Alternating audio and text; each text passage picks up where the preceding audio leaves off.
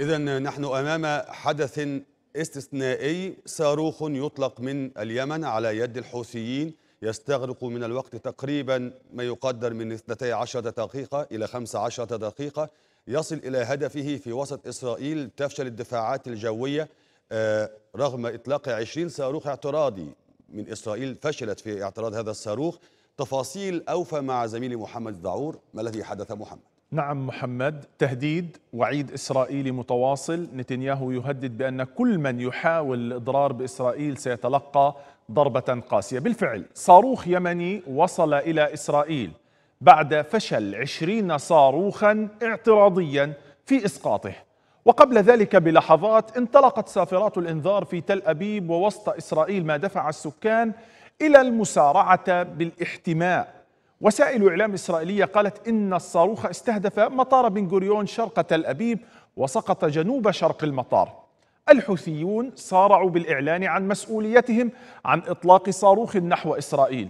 أربعة طواقم إنقاذ تعمل على إخماد حريق في كفار دانييل نتيجة سقوط شظايا الصاروخ من اليمن. نوع الصاروخ اليمني هو باليستي وهو لمنظومات الجيش لم تتمكن من اعتراضه حتى وفي طيلة طريقه. هيئة البث الإسرائيلية تقول أن الصاروخ اليمني سقط في منطقة مفتوحة تبعد ستة كيلومترات عن مطار بن غوريون.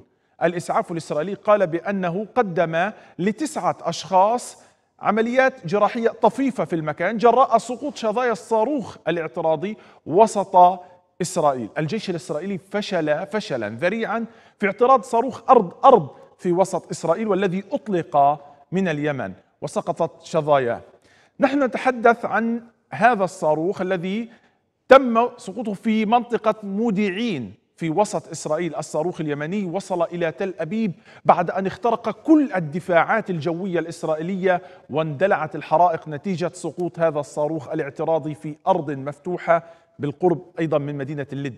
الجيش أطلق عددا كبيرا من الصواريخ الدفاعية المختلفة على صاروخ اليمن لكنه لم يتمكن من اعتراضه لأن سرعة الصاروخ الذي أطلق من اليمن كانت فائقة وبلغ مسار الصاروخ حوالي ألفي كيلومتر. استغرق نحو 15 دقيقة لقطع المسافة من اليمن إلى إسرائيل. ذكر الجيش الإسرائيلي أن القوات الجوية الإسرائيلية تحقق في سبب تأخر رصد واعتراض الصاروخ المطلق من اليمن فيما قال نائب رئيس الهيئة الإعلامية للحوثيين أن الدفاعات الجوية الإسرائيلية فشلت وأن الصاروخ اليمني وصل مشيرا إلى أن عمق الاحتلال أصبح مكشوفا بالكامل أمام القوات المسلحة اليمنية. سارعت القوات المسلحة اليمنية في إصدار بيان وقالت أنه انتصارا لمظلومية الشعب الفلسطيني ومجاهديه نفذت القوة الصاروخية في القوات المسلحة اليمنية عملية عسكرية نوعية استهدفت من خلالها هدفا عسكريا للاحتلال الإسرائيلي في منطقة يافا في فلسطين المحتلة. ونفذت العملية كما قال الحوثيون بصاروخ باليستي جديد فرد صوتي نجح في الوصول إلى هدفه. واخفقت دفاعات الاحتلال الجوية في اعتراضه والتصدي له.